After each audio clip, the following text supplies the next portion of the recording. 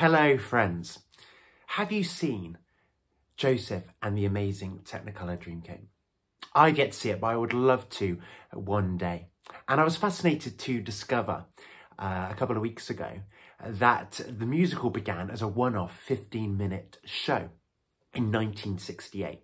Andrew Lloyd Webber, Webber's father uh, was a friend of the, the head of music at a school in London, and they wanted a religiously themed performance to be part of an end of term event.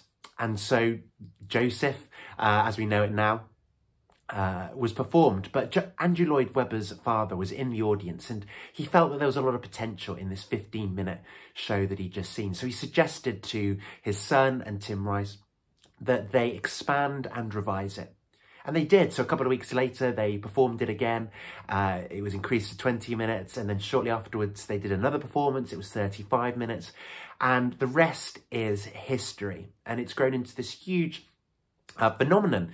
Um, and I was fascinated again to discover that it spawned sort of 20,000 plus theatre and school productions. The, the 12-year tour that it did under the directorship of Bill Kenwright got the musical into the Guinness Book of Records. That famous song, Any Dream Will Do, uh, it won Broadway Song of the Year in 81 and 10 years later it won an Ivor Novello Award. Um, and all of this shows what how Joseph's story resonates with so many people. But it also resonates with people as, as they come to the scriptures. And as we continue, or as we begin our journey through the Bible and we focus on Genesis, I'd like to spend some time looking at the story of Joseph. It takes up a huge portion of Genesis, and I hope that what I'm going to share with you today will be of some help and encouragement to you. And as uh, this week, uh, all of the readings will be focused on Joseph, so maybe this will be just a nice introduction to that as well. But before I delve into some points of application, let's provide an overview of the story of Joseph. Now, best place to begin is with Jacob. Now, Jacob, uh, he has 12 sons with four different wives including Rachel. Now, Rachel is his favourite wife, and it's with Rachel that he has his two youngest sons, Benjamin and Joseph. And these two are sort of the apples of Jacob's eyes, especially Joseph, um, and that's perhaps where we get uh, the uh, that fa- where the fabled coat comes in. And unsurprisingly, the favouritism shown to Joseph and Benjamin is a source of friction between them and their older brothers. And Joseph, he's a little bit tactless and, and he heightens these tensions by sharing details of a couple of dreams that he feels that God has given him, which suggest that one day Joseph will rule over them. This infuriates the brothers and they decide to kill him. Uh, thankfully, Reuben, one of the brothers, comes to his senses and he says, look, we can't kill our own flesh and blood. Let's leave him in a pit um, and in his my own mind, he's thinking, I'll come and pick him up later and I'll take him home. So the brothers agreed to this until Judah spots some Midianite traders and he has an idea. Let's profit from our brother's misfortune. And, and that's what happens. They sell him to uh, the, the Midianite traders who in turn sell him to slavery into Egypt, where he's picked up by Potiphar. And he was an official of Pharaoh, king of Egypt. Um, now, meanwhile, um, so this happens and Reuben, he mustn't have been part of this latter discussion because he goes to the pit to pick up Joseph thinking he'll be there, but he's not there. And he fears the worst. And so he goes back and he, he shares news with his father Jacob, um, who is distraught at this, the apparent death of his favoured son, Joseph. Now, meanwhile, in Egypt, Joseph, he's in slavery, but, but as as much as, as well as he can do, he's, he's he's doing okay. You know, he's winning the favour of those he's working for. He wins their respect. He's given a fair amount of responsibility. But things take a bit of a turn for the worse because Potiphar's wife takes a shining to handsome Joseph and makes a few advances towards him. Now he wisely uh, rebuffs these to the point where he, at one episode he runs away. Um, but Potiphar's wife spurned is she's embarrassed by this and she turns the tables and says, actually, Joseph made unwanted advances on her. And this gets Joseph in prison, where he was for at least two years. And again, it's, it's hard surroundings, but as much as he can, he, he does pretty well there. He, he's given responsibility by the prison warders. They clearly like Joseph and give him responsibility. Uh, the king's cupbearer and baker, they clearly committed an offence. They're in the prison. They have some dreams. Joseph interprets them for them. Um, and it is this, actually, that gets Joseph an audience with the king, because the king has had a couple of dreams himself, and he's, himself, and he's troubled by them. And he's like, who can help me interpret these dreams?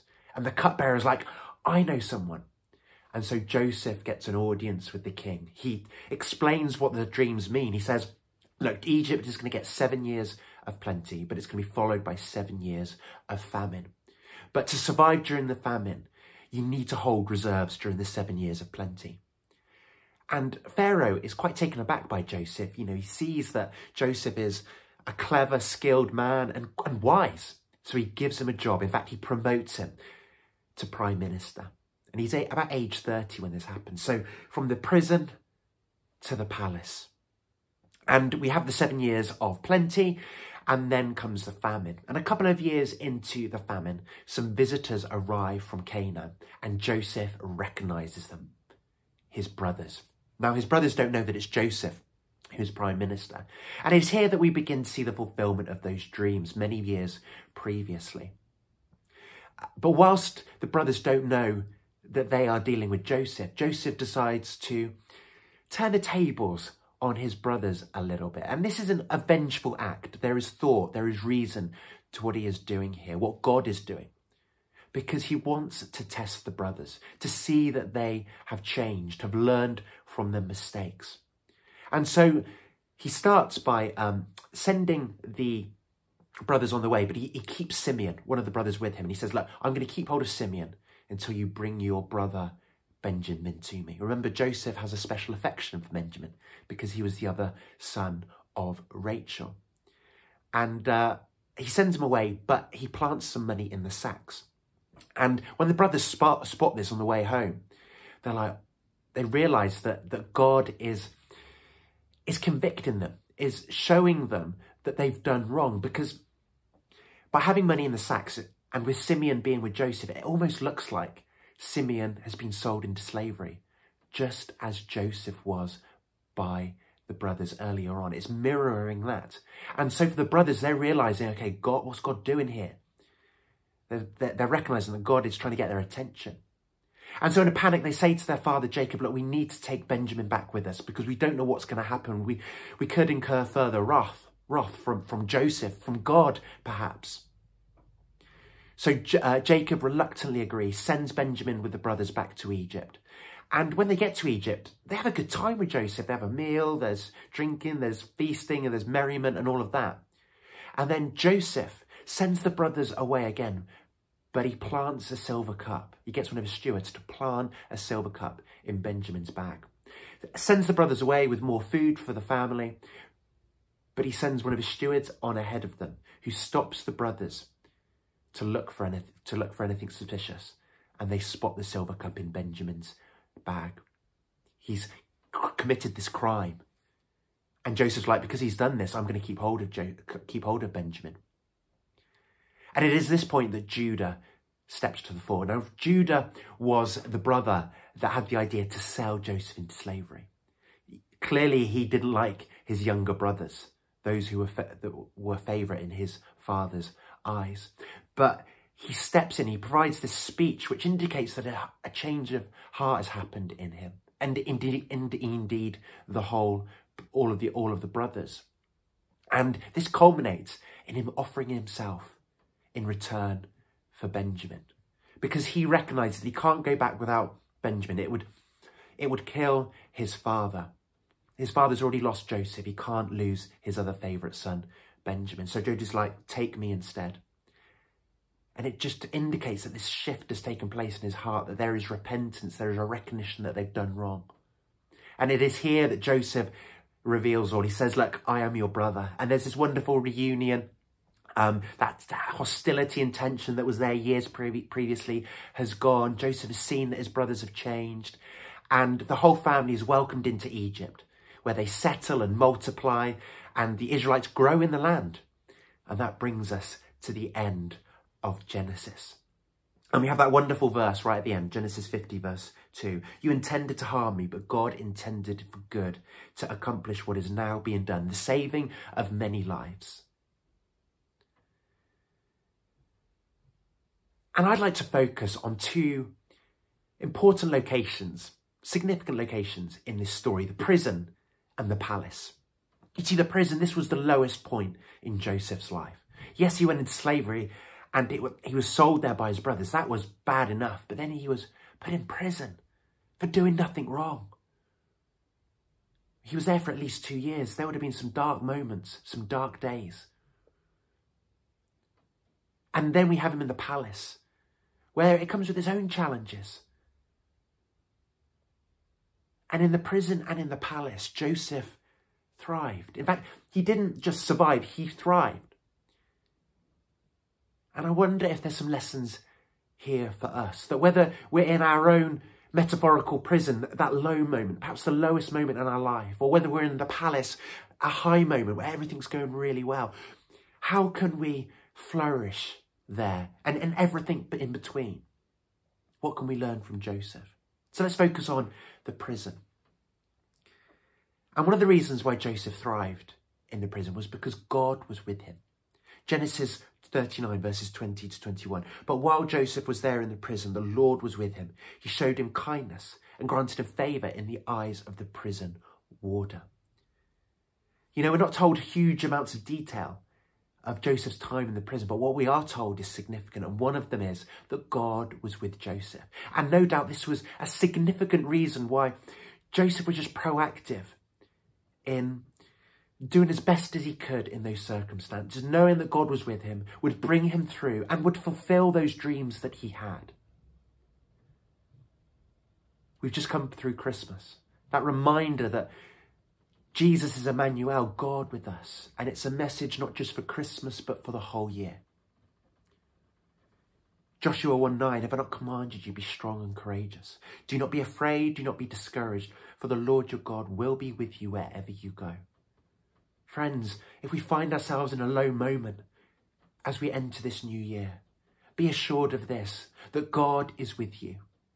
And may that be a source of strength, encouragement, and hope that you will come through. God will pull you through.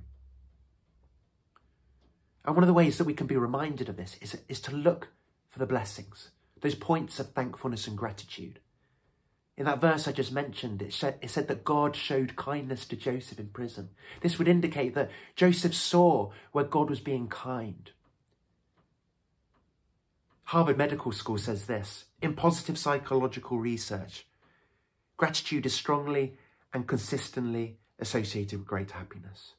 Gratitude helps people feel more positive emotions, relish good experiences, improve their health, deal with adversity, and build strong relationships increasingly research is revealing just this, that having that attitude of gratitude, despite the circumstances that we're in, can do wonders for our health and well-being. And so look for those points of gratitude, those points of God's kindness. I understand, and I, the God understands that it can be difficult to look and see for those moments when things are so tough. But doing so can be can do wonders for our faith, that assurance that God is still with us, and that hope that he will bring us through. And one of the reasons why the Bible tells us to rejoice in all circumstances, first and foremost, it glorifies Jesus, but it also helps us. And there's an interesting dichotomy here because at the end of this short passage around Joseph in prison, we're told that the cupbearer forgot Joseph. Joseph asked to be remembered when he interpreted the cupbearer's dream, but we're told that Joseph was forgotten. But everything beforehand just radiates this truth that God had not forgotten Joseph, and he's not forgotten you either. Number two, Joseph flourished in prison because he served. Uh, so in Genesis 40, verses 6 to 7, um, the cupbearer and the baker, they've come into the prison because they've committed some offence. And they've, been, they've had these dreams which have troubled them. And it says this, when Joseph came to them the next morning, he saw that they were dejected. So he asked Pharaoh's officials who were in custody with him in his master's house, why do you look so sad today? You know, Joseph's in prison. That's hard enough. This is compounded by the fact that he's done nothing wrong. And yet, his eyes are tuned to the pe- to people whom he could care for. He reaches out to them. How are you? And uh, what I find quite intriguing about this particular passage is that Joseph provides the interpretation for interpretation for the dreams. For the cupbearer, it's good news. He's, he's going to get released and he'll be fine. For the baker, it's a different story. He's going to die. Joseph effectively delivers a death sentence. You're going to die in three days' time. This is a judgment not from God, but Pharaoh. And then we don't hear anything else of Joseph's interaction with the baker. But there were three days. Surely there would have been some dialogue, interaction. And we know Joseph to have been a very caring man, full of integrity. And I think that there is some significance in the fact that perhaps Joseph was the last friend, the only friend maybe, that this baker had. An opportunity for God's grace to reach him at his lowest moment. Friends, in the prisons that we find ourselves in, those low, difficult moments that we find ourselves in, in life, these are opportunities to, to minister to people, to care for people that we might not otherwise have, to reach out to them, even despite our own hardships and difficulty and say, how are you? And what's, again, another significant side of the story is that, yes, the cupbearer forgot Joseph, but it was the cupbearer who got that audience, that jo Joseph's audience with, with Pharaoh. He's like, I know someone who can interpret dreams. And why did he know that? Because Joseph reached out to him when he was sad in prison. This is the turning point in the story, and it shifts on a how are you. Joseph just reaching out to care to a couple of individuals. And it's that turning point for Joseph going from the prison to the palace. Friends, it is hard to reach out to people when we're in a difficult moment. But boy, can God use that to reach those around us and to bless us in our own lives. Don't underestimate what God can do through that. Through you just reaching out to those that might be within the prison walls that you find yourself in. Jesus said in Matthew 25, Well done, good and faithful servant. You've been faithful with a few things. I will put you in charge of many things. I mean, it's a, a summary that you could put right on Joseph. He was faithful in the little, and God blessed him. Number three, Joseph took the initiative in prison. He said, uh, Joseph says this to the cupbearer after just interpreting his dream. But when all goes well with you, remember me and show me kindness. Mention me to Pharaoh and get me out of this prison. You know, Joseph was strengthened by God's pre presence in, in prison and Joseph reached out to those around him. But he also saw opportunities to come out of prison, to re be released from the low moment that he was in. And often there are opportunities, there are people that, that, that we can take, that we can reach out to in our own low moments that will, will help ease things for us, may even just provide that substantial step out of the difficulties that we find ourselves in.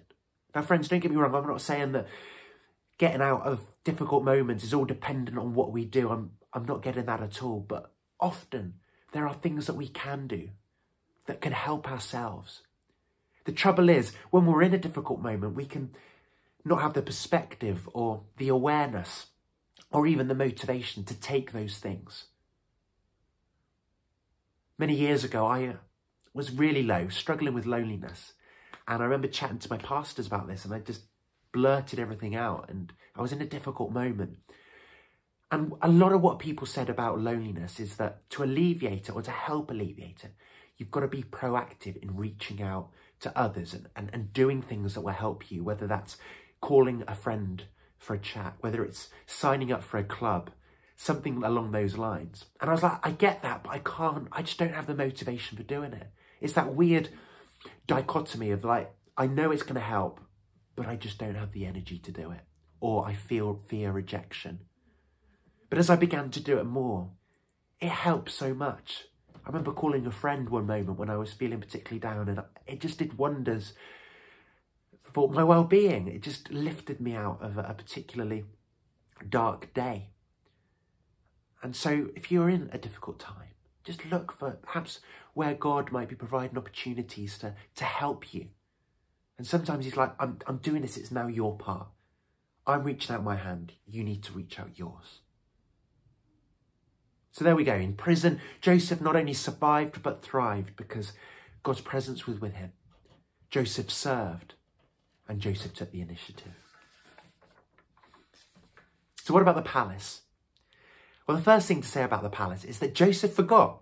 And I love this bit because um, and it, it, stems from uh, Joseph's children. Well, one particular child. Uh, in Genesis 41, verses 51 to 52 we're told about uh, two children that Joseph had, Manasseh and Ephraim. And Manasseh, uh, it said the Bible says that it is was named because God has made me forget all my trouble and my father's household. And this is quite a statement. You know, Joseph had some tough times. Let's not forget that. Let's not underestimate that. But such was the, the blessing in the palace that he forgot about that. But memories of the past can cloud and hinder our enjoyment of the present. Whether that's fear, it's guilt, it's regret, it's shame. We can sort of cling to it when we're meant to be fully enjoying what God has brought us now. And Joseph's story is a reminder that God often crafts and weights blessings in such a way that they are intended to make us forget what's gone before. That's what God does. That's how sometimes God provides blessings for us.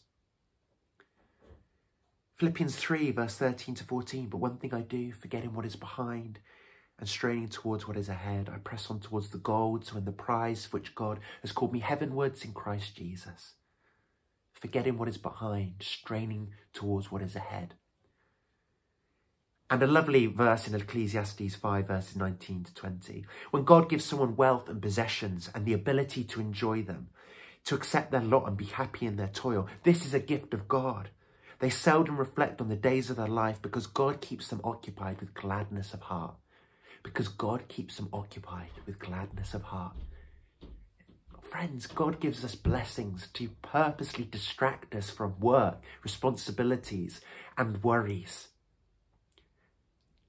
Crafted in a way, it's like that's God saying that you're meant to forget this. Why are you remembering all of that? let go and enjoy what I'm giving you now. Because that's what he did with Joseph. And Joseph's like, I'm taking that. So much so that he names his child um, Manasseh to reflect this. Number two, Joseph stored.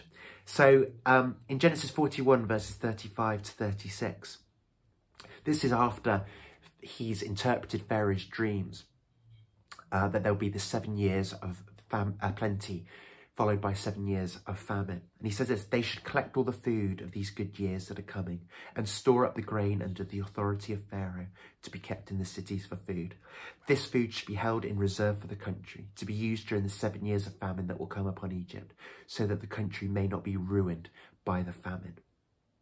I was, when I was reading this, I was reminded of a couple of episodes in the, in the last couple of year, couple of years. At the beginning of the pandemic, everyone rushed to the shops and were taking all the toilet rolls, you might remember. And then just this past summer, we had that fuel crisis where cars and lorries queued for miles, I think, to save up for what they would thought would be a time of famine, fuel speaking wise anyway. But there's an important spiritual principle here because in our seasons of feasting, we must take spiritual nourishment that will help us during famine seasons. We will all have moments of spiritual highs, those times on the mountaintops where our prayers are being, we feel like all our prayers are being answered. We feel God's presence everywhere. Um, we're just we're just on that high really. Uh, things are going so well, but there will be other times when we're in the famine, when it's difficult to pray, it's difficult to get up and go to church. God not only feels distant, he feels hostile. And one of the key ways that we can survive during those famine moments is to really utilize those moments of spiritual abundance. So to, to plow into God, you know, when we're in those spiritual highs, it can be really easy to take our, our, foot off the gas. Well, I'm feeling so good, I don't need to go to church, or I can take, I can reduce my prayer prayer time a little bit, or you know, I don't need to read the Bible as much as I do. I'm, I'm feeling good. I'm feeling like the Lord's with me all the time. But these are the very moments we should use our heightened spiritual energy to plow into God to write down what God is doing, to, to jot down the blessings, to, to have reminders of his faithfulness, to keep going to the church meetings, to keep going to church, to keep praying, all of those things, because when the famine hits, we'll be most much more likely to keep those things going, even when it's hard to do so. It will help sustain us through the moments. But if we let it off during those spiritual highs, we will much more easily fall by the wayside during the famine. And it's always worth asking those the question during those heightened moments of spiritual energy and high that, you know, what's going to help me in the famine? What's going to help me in the valley? What can I go back to when things are so hard that, I, that is going to encourage me and, and, and give me some impetus to keep going?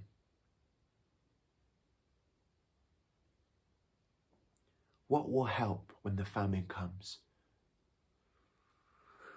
And the final thing that Joseph did, Joseph did was that he gave. So Genesis 41 verse 57 says this, and all the world came to Egypt to buy from buy grain from Joseph because the famine was severe everywhere. You know, in our own seasons of abundance, how can we use this to serve others spiritually, materially, financially? You see, the blessing that Egypt enjoyed during those, as a result, sorry, sorry the, the blessings that the abundance that Egypt enjoyed wasn't just for Egypt. It was, it was for the whole world, that others would be okay as well. And similarly, the blessings that God gives us are not only for us, but others. Jesus said, freely you have been given. Freely give. That's in Matthew chapter 10. And one of the wonderful things about church is that there will be times when some will be feeling particularly weak, but others will be feeling particularly strong. And, and it's it, those who are strong can just really help step in and help those that are, are going through a difficult moment. But then on the flip side, when those who are weak are feeling strong, they can then step in to help those who are now feeling vulnerable.